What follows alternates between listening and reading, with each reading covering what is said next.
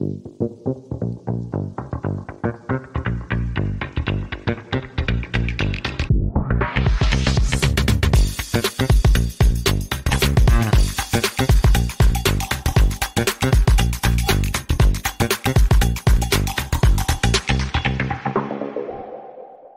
may live over 5,000 miles from Lincoln Financial Field, but what we lack in proximity, we make up for in the film study. And each and every week in the off season, we'll be bringing you breakdowns that are loosely related to film study from across the pond in the Sooner State. Welcome to On the Shane page. I am your host, Shane Half. You can follow me on Twitter at Shane Half NFL. And I'm joined by BGN's own film guru, Jonny Page. Give him a follow on Twitter at Jonny Page9. Jonny, how are you doing this evening? Yeah, I'm good. I wondered if you're going to uh, edit the intro. In our defense, there is very little film going on now. We've uh, we've dragged out some film. We've done the Kellen Moore breakdown last week. We've done some Jalen Hurts breakdown. Um, we're very much, we're, I guess, a very different style of episode. Um, before you introduced Les, I was looking through my Twitter earlier on, and I realised I joined in 2014. Um, and I probably spoke to Les like on and off, like you do with everyone on Twitter. But I'm pretty sure if you were to ask me, like Eagles journalists that I've basically always, always read. It would be Les, it'll be Kempski and BLG. And I've had Kempski on the podcast once. We had BLG recently. So it's good to go for the free P. Um, this is probably the third one of someone that, I mean, I joined Twitter in 2014. I've been following the birds since 2010. And I think they're sort of like the free, and probably Tommy uh, Lawlor as well. Those three or mm-hmm. four have basically been sort of like consistently there throughout my entire Eagles fandom. Um, so yeah, it's pretty cool to have you on the pod. But Shane, I'll Great to be here. Under too much. Yeah, yeah. We are joined today by a very special guest. We teased this out last week, but Les Bowen is going to be joining us today. Uh, Les, for those of you that don't maybe follow the Eagles as much online, maybe you just watch the games. Les has been around the team for a long time. He started covering the Eagles back in 2002 for the Daily News, later for the Enquirer. Uh, now he writes here and there for phly.com. You can follow him on Twitter at Les Bowen. Uh, Les, how are you doing? It's morning for you and me. It's afternoon or yes. evening for Jonny. But how are you doing? I'm doing great. Uh, great to be with both of you. I uh, last mid last season, I personally sort of felt like I finally made it when I wrote up a post on Twitter about how to fix the Eagles offense. And I came back to Twitter later and it had just blown up and then I realized that Les had retweeted it, and I had all these views that I wasn't used to. So oh, it broke my Twitter for a day or two, but then I was like, you know, I've made it. Les read something of mine, and he retweeted it. So it's awesome to speak with you today. I'm glad you're here with us. Well, I, I have to apologize for infecting you with uh, my followers. Uh, some of them are, are crazy, but uh, you know, but uh, yeah, it's a it's it's quite an instrument, Twitter. Uh, I, I spend too much time on it, but I'm I'm really glad. I was glad to see what you're doing, and I thought it was uh, really interesting. All right. Well, we do have some questions for Les today. If you guys are watching live here on YouTube or Twitter, you can drop some com or some comments or questions, and we can try to work those in as well. But Les, we'll start off with this one. You've been around the Eagles organization for a long time. How did you get into covering the Eagles? Well, uh, I covered the Flyers for the Daily News from 1989 to 2002. And by 2002, I was in my mid 40s, and our two boys were growing up, and they had games and concerts and plays and things like that. And hockey is uh, 82 games a year plus the playoffs, and you travel constantly. I remember distinctly there was a that last year there was a sequence of five games in eight nights across the continent from Calgary to California to Dallas. And you know, you're not flying on charters with the team here. You're figuring out a way to get from Calgary to San Jose by the next night and rent a car and get, you know. And I remember thinking, you know, if I'm doing this in 10 years, I'm going to be dead. um, so uh, something happened at the Daily News. Uh, some beats were being shuffled around. Marcus Hayes was covering the Eagles. He was going to take over the Phillies beat, and they needed an Eagles writer. And the Eagles are, of course, the biggest beat in sports in Philly. And although I loved covering the Flyers, the Flyers, Philly's a good hockey town as American hockey towns go. It's very passionate.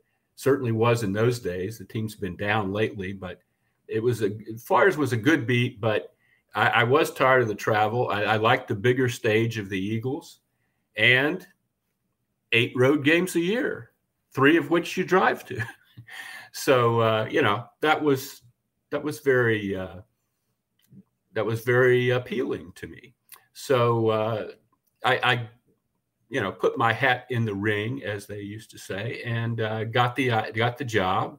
And uh, it was a time of considerable turmoil. The first uh, story I covered was the Eagles had franchise tagged Jeremiah Trotter, and he was very upset about this. And there was a lot of back and forth, and they ended up releasing him, even though he was still a very viable uh, player in the middle of his career, just because it had blown up into such a huge mess. Uh, and he signed with Washington. And uh, yeah, that was a good way to get my feet wet. You know, it was uh, quite a big deal uh, in Philly. Of course, he came back eventually, came back twice.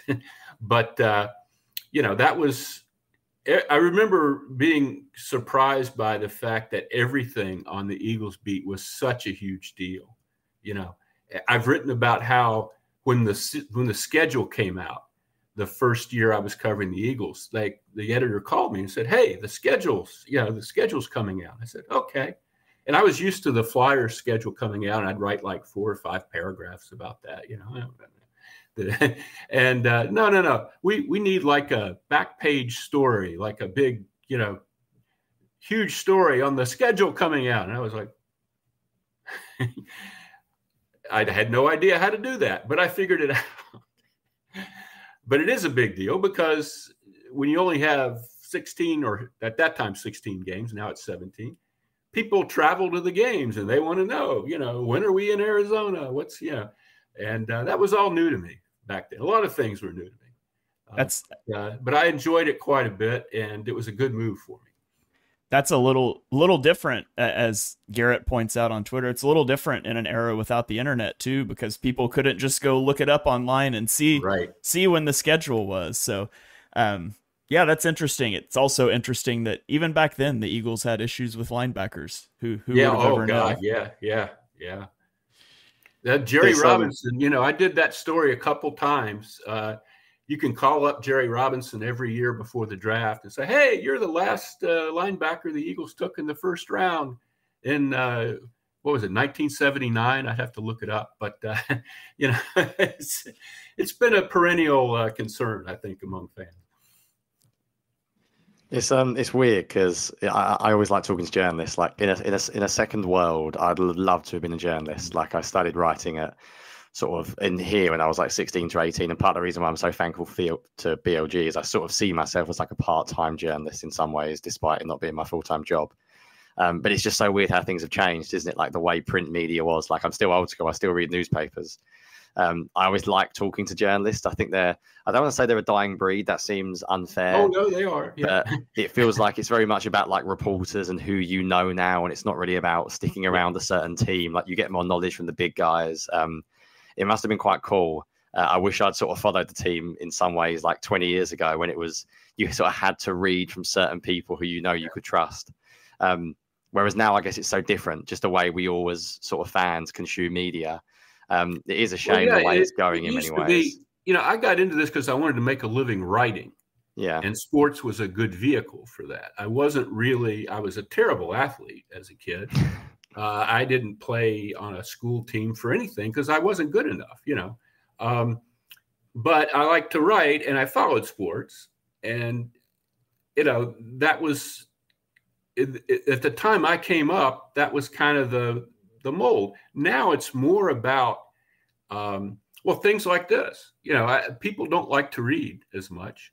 Um, it's much more visual. It's much more like what we guys do with film. Uh, and there's nothing wrong with that, but it's certainly not what I, you know, if I were growing up today, I don't know that I would be attracted to this field because it's not, I wanted to write, you know, that was my, that was my my goal. And writing is kind of really yeah writing evocatively about things and and explaining things and you know going to somebody's hometown and the, all that stuff. That's people still do that. A few people who have really great jobs with outlets like ESPN or The Athletic, you can get that kind of access.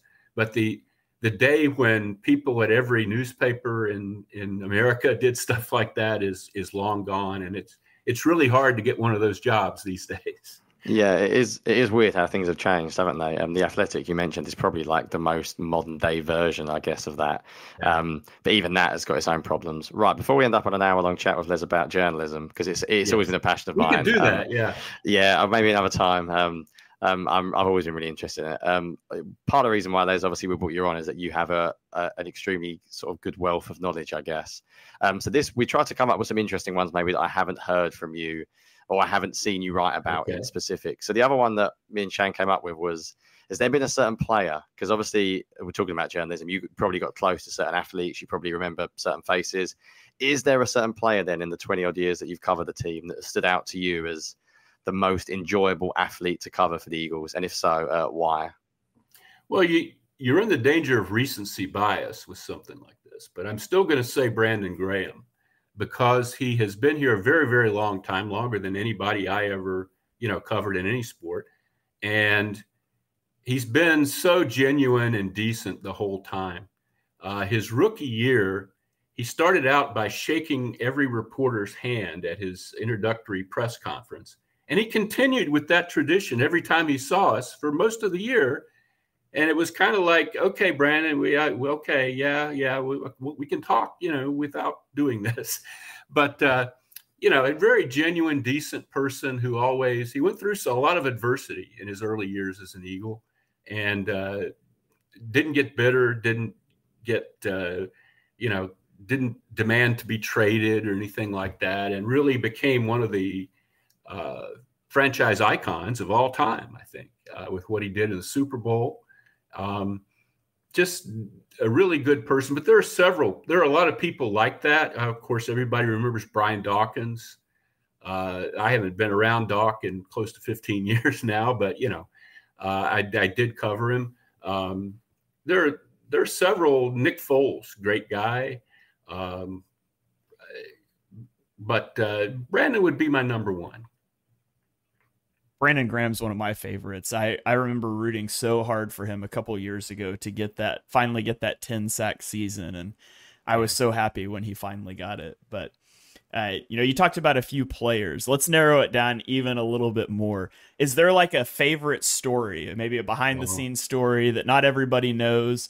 Uh, is there like a favorite memory or story that you have from covering the team? Behind the scenes. Well, you know, I thought when you when you asked me that question, I wasn't sure what I thought you wanted like tea to be spilled here or something. You know, um, I have.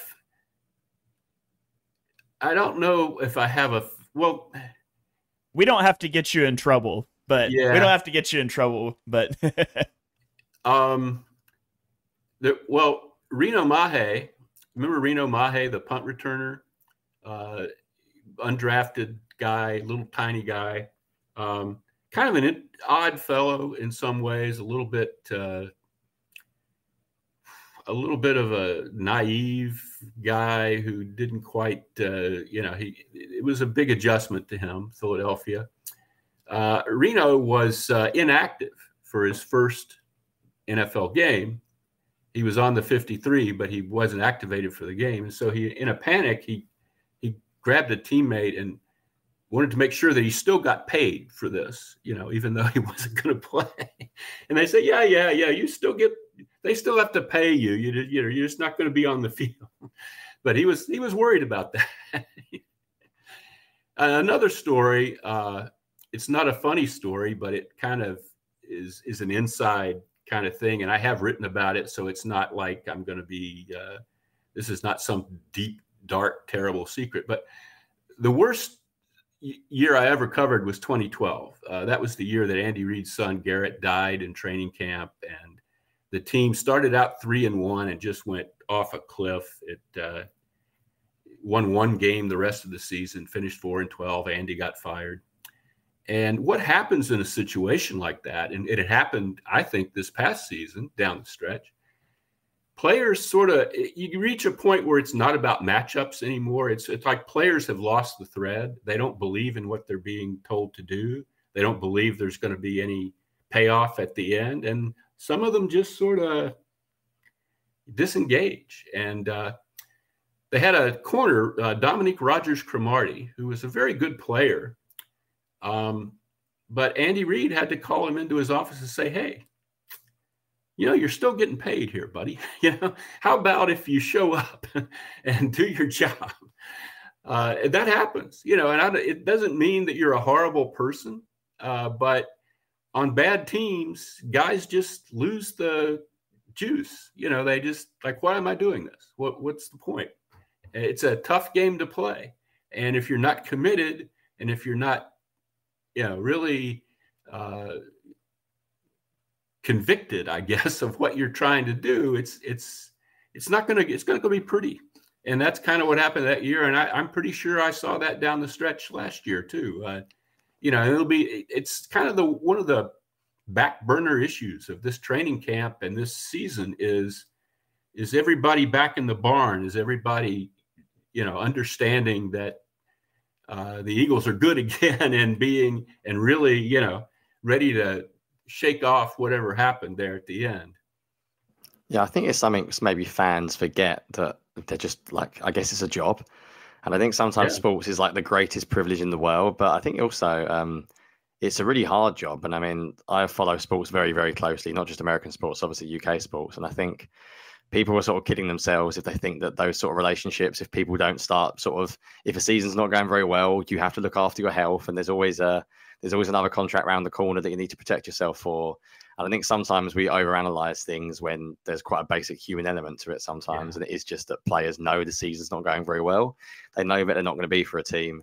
And, uh, and it may end up that essentially they think they're better off not playing as hard as they can. I think that's the same in probably any walk of life. It's not just yeah. sports, as yeah. you mentioned. Um, you sort of team me up nicely, Les, because rather than doing maybe your least favorite Eagle season, um, is there any sort of season that over time stands out to you? I know the obvious one for fans is always going to be the Super Bowl one. Yeah. I guess from a journalist point of view, um, does it matter sort of how far the team get? I guess it matters if the team are engaging without a doubt. But is there a is there a season that really stands out to you as like a really fun one, I guess, or engaging one for you as a journalist to cover? Yeah, that's a very good question, Jonny. And I, you're right. I mean, you don't want to behave as a fan, as a journalist. You know, you want to keep a distance, uh, a perspective, because if you're writing as a fan, yeah, the fans already know how what it feels like to them. They want somebody who's a little bit removed to to look at this uh, with a with an unjaundiced eye. Uh, so you do that as much as you can. But that having been said, winning is a lot more fun. The players are more fun to be around. Uh, the coaches are more forthcoming. Uh, it's you know it's it's a, an easier job when the team is winning. Uh, you get more you know notice. Your your stories are read more. Um, you might get if they win you know you might get an opportunity to write a book or something you know um, so it's i mean we pretend like we don't care but it's better for us if the team's doing well um, so that super bowl season was amazing i've never covered anything like that with uh, wentz that day in in la when he went down thought, well it's been a lot of fun but that's it for this season, you know. And then uh, what happened after that was just incredible. I've never in any sport covered anything like that, so that has to be at the very top. Uh, even though it's obvious, uh, it's just so unique. But if I had to pick a second one, I would probably say 2013, that first Chip Kelly season. I know people now, you know, what happened with Chip after you know really kind of colors the whole thing. But that that year was so magical. Uh, the team wasn't supposed to be any good. Is that we were talking just a minute ago about the 2012 season, four and 12.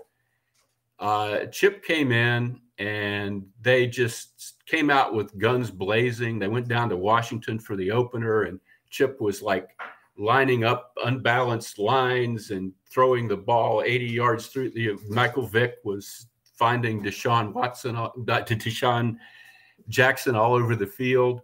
Uh, you know, it was uh, it was a fascinating year to cover, despite what happened after that. It was it really like football was kind of being reinvented in some ways. Practice was different. There was that was the first year of like music at practice. Everybody does that now, but Chip was like the pioneer of that. Um, you know, the the emphasis on nutrition and health, and you know that's continued. The the Eagles kept all that stuff. You know, even though they didn't like Chip, but they liked all the stuff that he was interested in. Um, you know, it, if Chip could have had a different personality, I think he would have been a, a an archetypal coach who would have lasted a very long time. but uh, you know that that season would be number two for me, and then the I guess the uh, the Super Bowl 39 season would be number three with T.O. when things were going well. Again, everything kind of got, you know, went down like a collapsing souffle uh, a few months later. But uh, T.O. that year with T.O. getting to Jacksonville and the, and the Super Bowl, almost winning it, uh, that was uh, that was an incredible journey as well. It's funny um, that you picked the Chip Kelly year because for me, personally, as someone who didn't really know the so I was a fan of the sport. I got into it in 09 um, because friends in the UK watched it, and I remember the first year. I believe the first game I ever watched, and you were probably covering it there, is when the Eagles beat the Rams. Was it 38-3 or something? I seem to remember Hank yeah. Baskett caught along. So that was the first game I ever watched. Um, and I wasn't really into the film. And I think the reason why I got into film basically was because I didn't really know what I was watching. It was like watching a sport that you'd never played as a kid. You'd never really watched it with parents. It was just completely brand new. So I almost taught myself like a bit of a manual, you know, like go and get the book and like I always say I have a different perspective on it as a Brit because I didn't oh. grow up with the sport. And I I think I probably haven't maybe even said this on a podcast, but I think Chip completely like changed the way I viewed the game. Like he made me interested in it on a different level. Yeah. Um, I've spoken off there about Chipwagon, um, the blogger who basically just had a, a whole blog about the Oregon Ducks. And I fell in love with that and I read everything and I actually met um, Ryan from the Chip Wagon in person uh, this year, which is quite cool. So it's funny that as a as a journalist, that's the first one you went to, or the second outside of the Super Bowl, which is, I guess the obvious one. Because um, I can remember how exciting it was. I think Eagles fans in the past, maybe even newer fans than us, who have covered it for like the past five or six years, don't realize how exciting that that first game against Washington, it was like a different sport was being played. It was like a it really world. was. It was incredible. It was one of the most amazing games yeah. You know in in my career and uh, if it had all continued like that you know he'd be in the hall of fame uh, yeah but, i think you were spot on when yeah. you said it was the it was the human element wasn't it of chip which shows why sports are so difficult. It's not just about um, the x's and o's. You're dealing with human beings you're dealing with people. Um, but it's really interesting because yeah that was the uh, that was that was the season for me as well. I think that made me really interested. And to be honest, I struggled a little bit when Chip left because I was so into his scheme and the way he did things. Um, and when sort of he left, it was almost like, well, how the hell would you have success without this? Like this is the future. Um, but I guess like everything, it goes round uh, in circles. But yeah, that's interesting uh, from a journalist because Chip must have given you a hell of a lot of stories as well because he didn't really um, mince his words, did he? Too well. He sort of said what he thought all the time as well. So a lot of the writers hated great. Chip because Chip yeah. was a smartass, but yeah. I'm kind of a smartass. So I kind of got along with him pretty well. You had to realize, you know, what his tricks were and how he was going to. He didn't like to, he looked for loopholes. His dad was an attorney, and he would look in the way you asked a question if you gave him an out. In fact, real quickly, the story about how Chip ended up getting fired before the end of the season in 2015. I don't know if you guys remember this, but there was a press conference. The Eagles had lost, and uh, you know things were going bad. And there was a press conference, and Howard Eskin asked Chip, you know, as the general manager, are you responsible for this? And Chip, being, you know, you know what had happened. They had kicked Howie Roseman aside and put Chip in charge of personnel, but they didn't give him the title of general manager. So Chip thinks, well, I've got a way to get out of answering this and says, oh, oh, no, I'm not the general manager. No, no, you, you'd have to ask Howie Roseman about that. I'm, I, I'm just, I'm the coach, you know. And he thought that was like a real smart thing to do.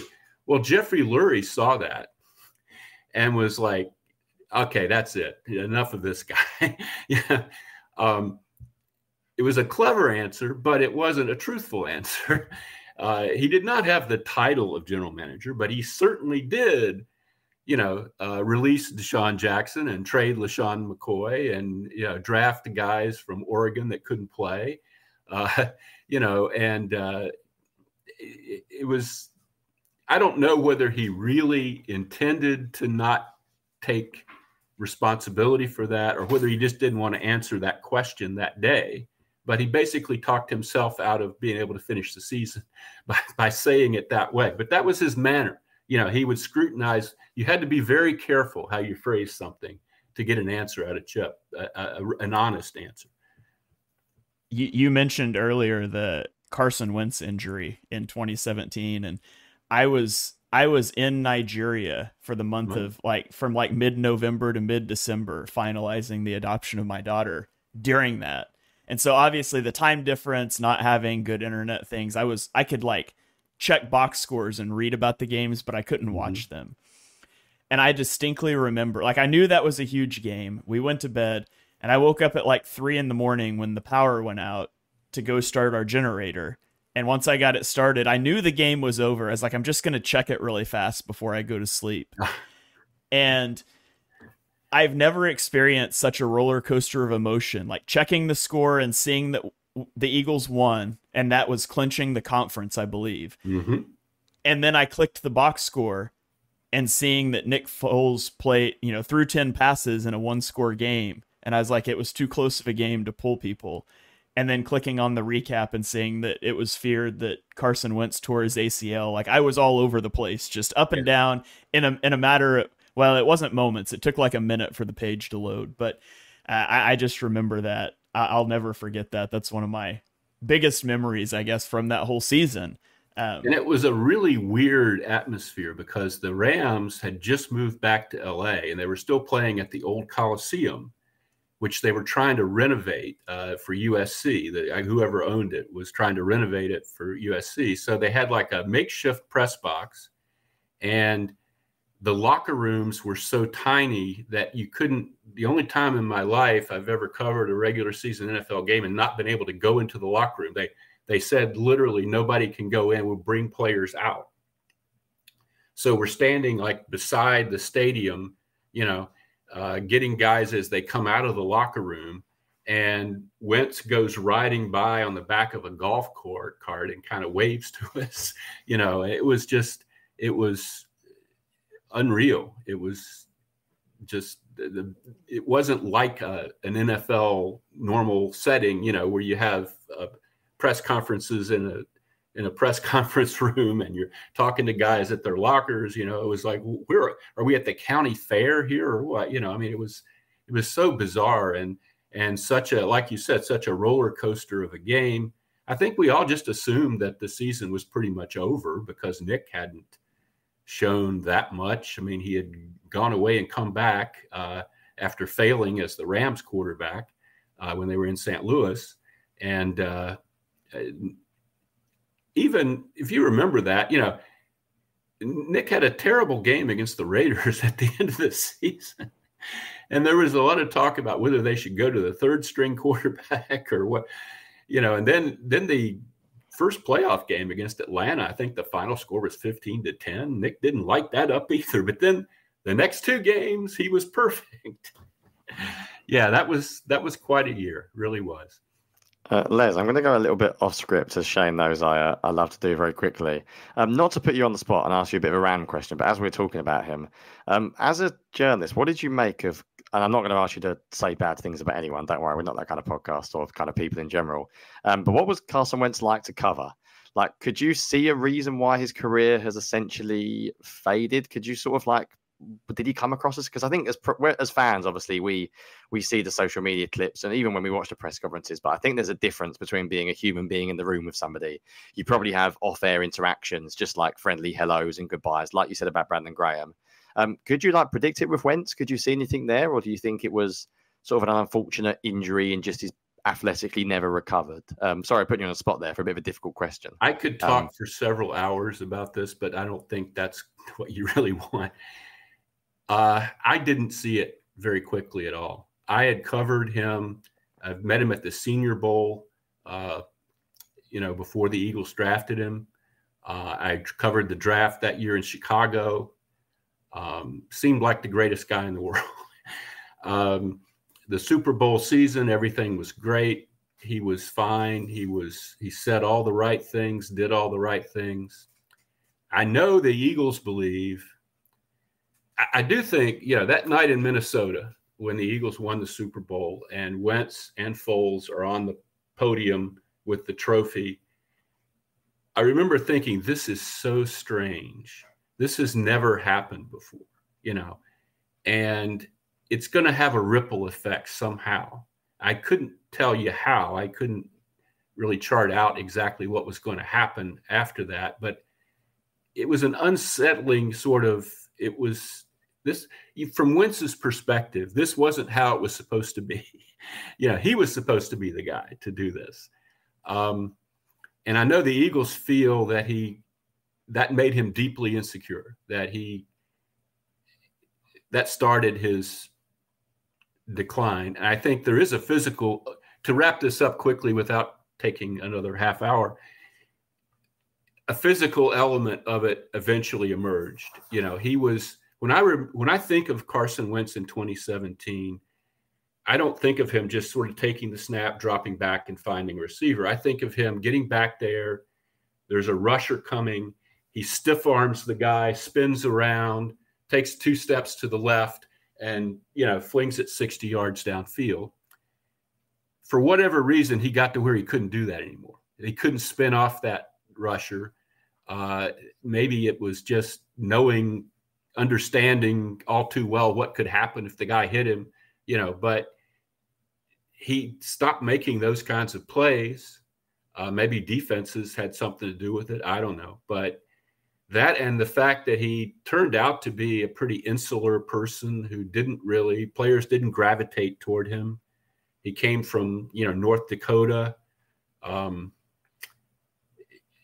he was really not uh, one of the guys very much.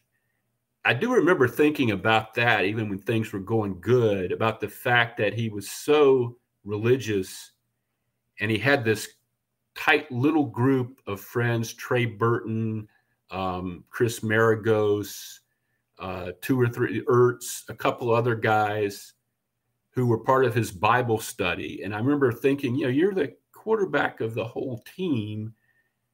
If there's guys that aren't in Bible study and don't care about that, are you their buddy too? You know, and it kind of turned out that he wasn't. um, but I didn't see it for a long time. And what happened the next couple years made it even harder because while he wasn't playing as well, Howie also wasn't doing as well.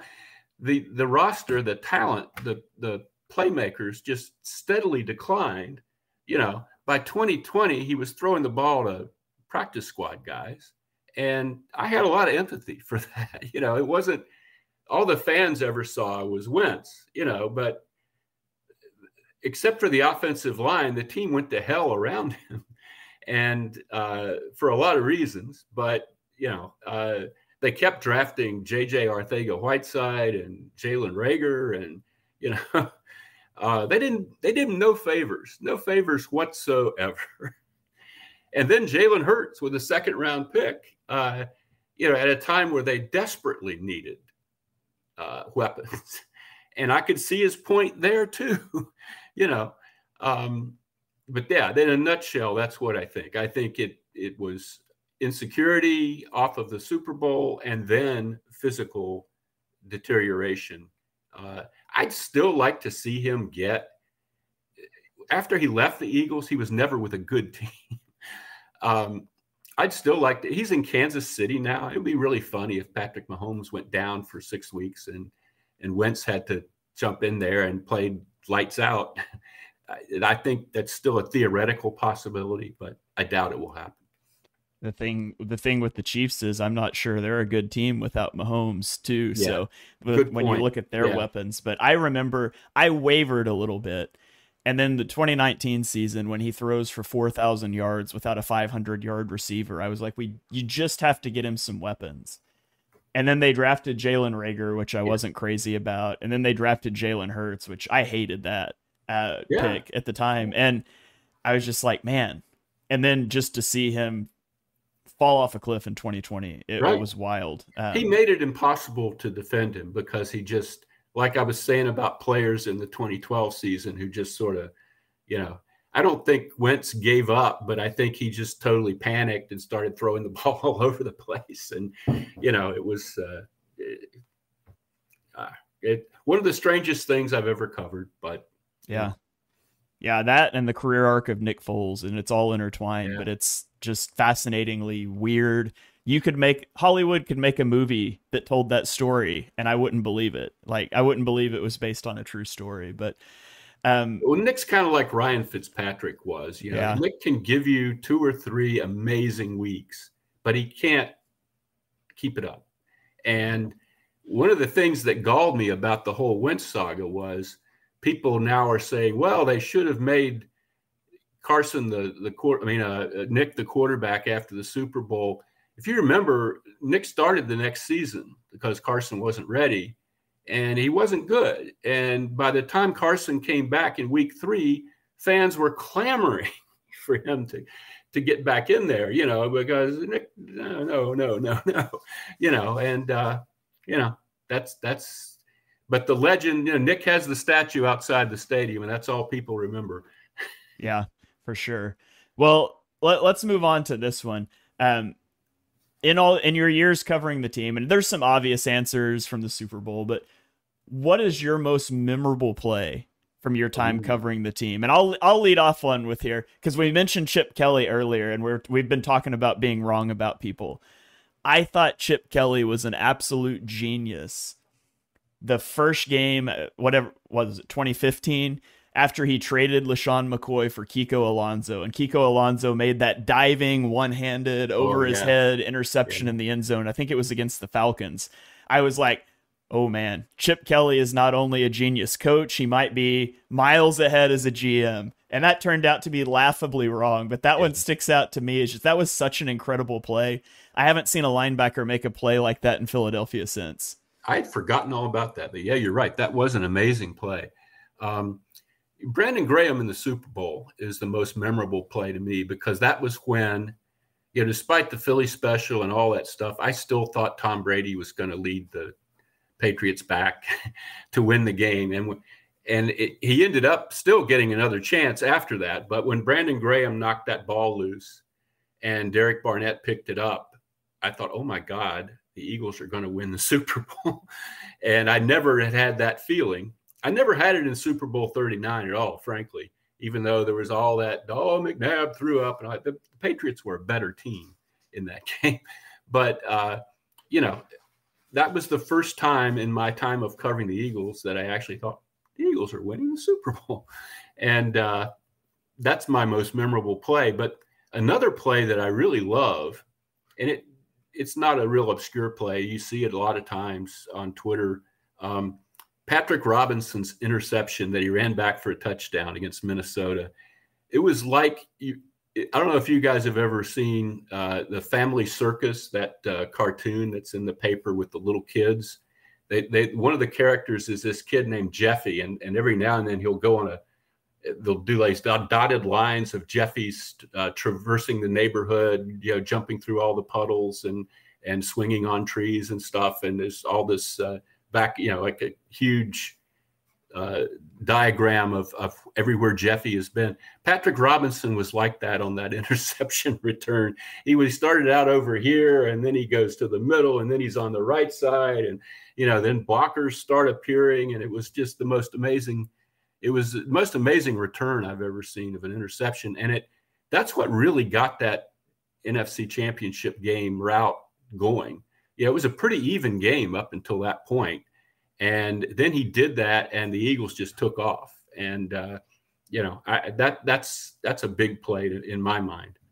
It's cool. It I guess it shows that Super Bowl season, doesn't it? You can see why they live in uh, sort of memory because there are so many individual plays. It makes you wonder if they didn't win it all at the end, whether those plays would would stand out at all. There's probably hundreds of plays that are more exciting, but because of what it led to, I guess sports are like stories, aren't they? It, it all sort of adds up.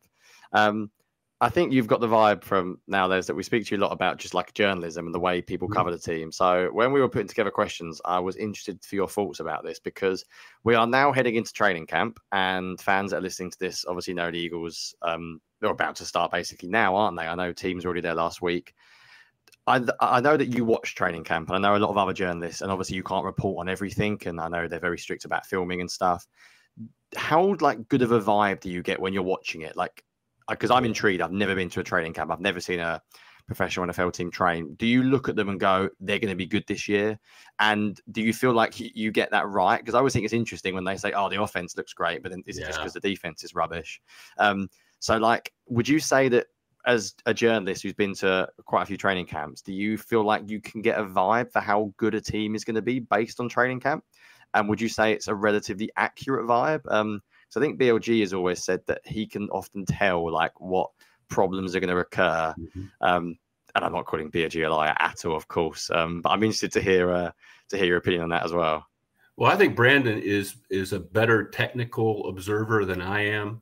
Like I was saying earlier, I'm basically a guy who likes to write stories. I don't X's and O's to me.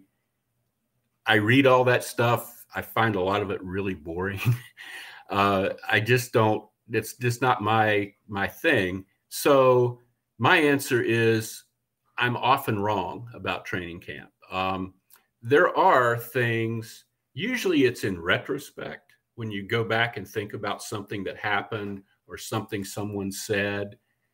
You know, eight or nine or fifteen weeks later, you you think, hmm, I remember, uh, you know, in August such and such happened, and it turned out that was. Uh, something we needed to keep an eye on, you know. But in the moment, oh, I've I've been fooled many many times.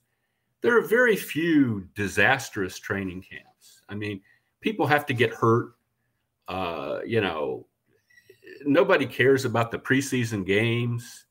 Um, it, it's hard for training camp to look awful. Um, if there are position battles that aren't resolved or aren't resolved in a you know, in a way that makes you feel they've got this covered. You can often tell that. Uh, I, I've often I say, you know, there's years Howie kind of sets his linebackers up with like whatever ends up on the front porch. He just throws in there, you know. And some years that works out great, like the year that they, uh, you know, the year they went to the Super Bowl two years ago. He ended up with good linebackers pretty much by accident uh, didn't re-sign them, and uh, last year ended up with terrible linebackers. And uh, you know, there's things like that that you look at throughout training camp. Do they have, you know, is Devin White, for example, going to really be a, a big, big deal? You sometimes you can tell stuff like that. Sometimes you can't, and it's less and less. You know, but in the Andy Reid days, they tackled to the ground and they were in pads and stuff like this, you know, much more.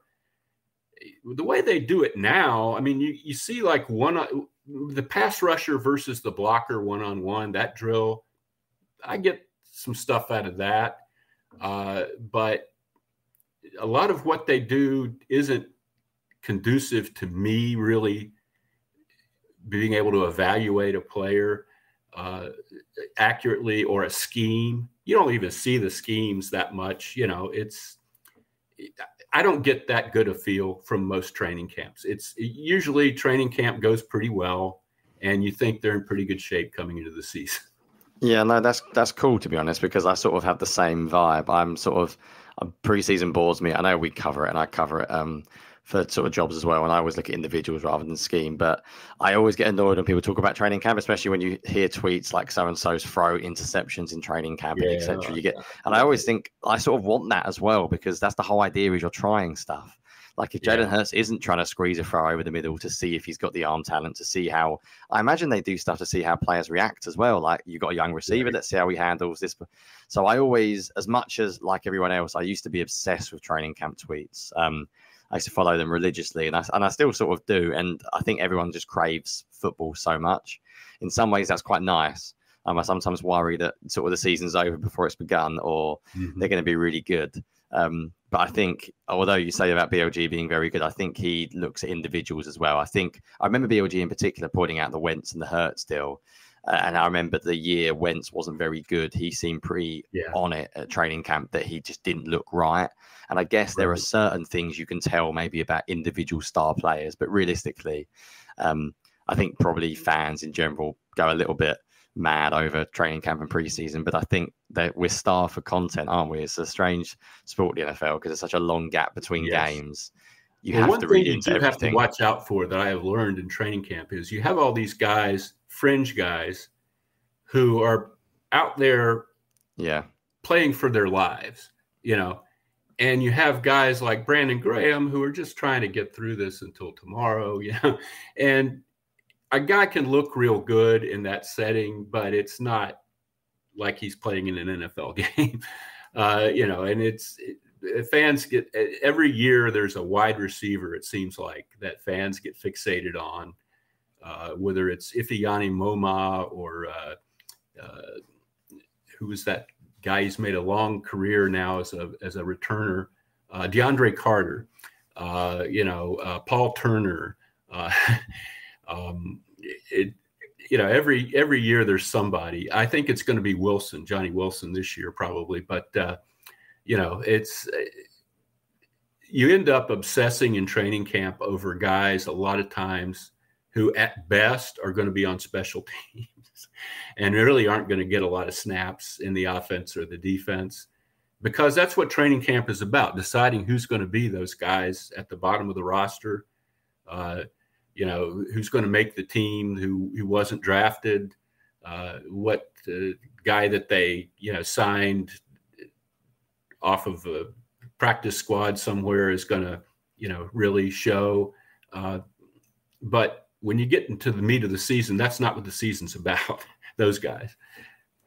We we both chuckle that when you mentioned Johnny Wilson. I think there's a clip out there from this podcast where Johnny mentioned that he thinks that Johnny Wilson is just a better, faster uh-huh. George Kittle or something. Yeah, this, like is, also, this is also yeah. not true. This this this is the dangers of the podcast world, Les. You see, uh, your your quotes can be taken out of context by your co-host, uh, which Shane loves to bring up now. I don't think you got that in old school print journalism, although with Twitter you probably did now, because I'm sure everyone can take a can take a comment out of context as well. Anyway, Shane, oh, that happens to me all the time. Yes. yes. Yeah. Uh, I'll I'll send you the clips later. It was funny, but uh, we'll we'll keep going here, Les. Um, there's been a lot of talk. I feel like recently, the Athletic had a story about Jalen Hurts and Nick mm-hmm. Sirianni mm-hmm. and potential tension there. And you know, Johnny and I have discussed that off air. And I mean, obviously, we don't have any idea, and you may you may not have any insight. But do you buy those stories? Do you buy that there's maybe some tension there between Hurts and Sirianni? Do you think that's just we want to talk about football and that's the low hanging fruit. What do you really make of those stories coming out? Well, I don't have a lot of inside information there, but I'll tell you this. Whenever, like two years ago, eh, when things went great and they got to the Super Bowl, Sirianni and Hurts had a wonderful relationship, and Hurts was the greatest leader in the history of sports, and Nick was the smartest coach in the world. You know, that's what happens when you win when you lose, like they did down the stretch last year, and in particular, when the offense started struggling, relationships get strained at that point. Um, I think we all know that Jalen's personality and Nick's personality are very, very different. And I think we've all seen the clips of, of Jalen looking at the coach going nuts at a fan or something and kind of like and I'm kind of with Jalen on that one, frankly. Um, but I don't think there's, as far as I know, there's nothing irreparable uh, that has happened. I, I, think they don't have to be great buddies for, for their partnership to work. I don't think Belichick and Brady were ever great buddies. Uh, I don't think Aaron Rodgers has ever been on the same wavelength as any coach he's ever played for. Um, they just had the, the offense has to work. And then I think the working relationship works. and that's what I worry about. You know, is Kellen Moore bringing in stuff that Jalen Hurts can do that will make this all successful? And if it is, then Nick and Jalen will be just fine. Uh, if it isn't fixed and this isn't the answer, then one of them, probably Nick, is leaving at the end of the year.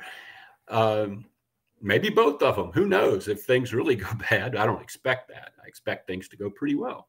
But you know, it's uh, it's it's going to the relationship depends on I don't think the relationship leads to winning or losing. I think winning or losing, you know, creates the relationship pretty much. I, as long as you don't have people who just absolutely hate each other and have no respect for each other, that's a different. I don't think we're in that ballpark. You know, uh, that that is an unmanageable situation. I, I, think we're more of the slightly pissed off at each other sort of uh, sort of phase, and I think that can certainly be repaired. Yeah, the way you uh, phrased that, that's a good one for an article, Les, if you haven't said that about the relationships. Uh, the way you said it there was perfect about, yeah, the relationship we find if they win.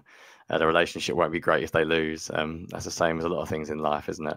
Yeah. Um, right. As always, as Shane knows, that we are historically known for overrunning by miles. So apologise for taking up so much of your time. I will leave you with one final thing. Uh, Shane knows I absolutely hate predictions, and I'm gonna not ask you for a number or anything, but despite the fact you said you don't often have a good feel in training camp because it's almost impossible, um, I know you still follow everything the team does. I know you write about the team and you're probably invested in every move. Although, as you said, maybe a little bit differently to fan, but more as a journalist. Um, what are you expecting from this year? You mentioned very briefly about Kellen Moore. Do you mm-hmm. think, from what the Eagles have done, they will be a successful team? Um, what are your? I'll I'll leave you Shane after to finish, but to finish off, Les, what are your sort of expectations for this upcoming season? Well, I expect them to be good. I think to be very good. I, with the keeping in the back of the mind that we still don't really understand fully what happened down the stretch last year. Uh, and we don't know that changing coordinators is going to really be the master stroke that we all, you know, kind of think it might be. Um, I, think things should come together here. Uh, they they made a lot of they, they bolstered the personnel on defense quite a bit, which was really the root of of last season's collapse. That's where it started, and then the offense kind of it infected the offense eventually when the defense couldn't get off the field and the offense started feel, feeling pressure to you know score every time they got the ball after sitting on the bench for 20 minutes. You know I think if they fix the defense and if if what Kellen Moore is telling Jalen Hurts, uh, you know, makes sense, I, I, think they'll be a very good team. Uh, they're not in a conference with other than San Francisco. There's not a great team, I don't think. Uh, there are teams you worry about. Green Bay, Week One, you know, that's it, assuming Jordan Love gets his uh, contract thing worked out. I think that's a very good up and coming team. Uh, but I, the division, I, I, doubt Dallas is going to be quite as good as it was last season, frankly. And I don't see anybody else really jumping up and winning 12 games or anything like that. Uh, I'd like the Eagles uh, to be very good this year. Uh, but some things do have to come together. And I'm never shocked if things don't go well because I've seen it so many times. But I, I do expect them to go well. All right. Well, that that makes a lot of sense. And Les, I want to thank you for taking time out of the day to come talk to us, to our viewers here. We certainly appreciate it. It was my uh, pleasure. Before we get out of here, do you have any final thoughts that you want to get out there? Any articles coming out or your Twitter, anything that you want to plug?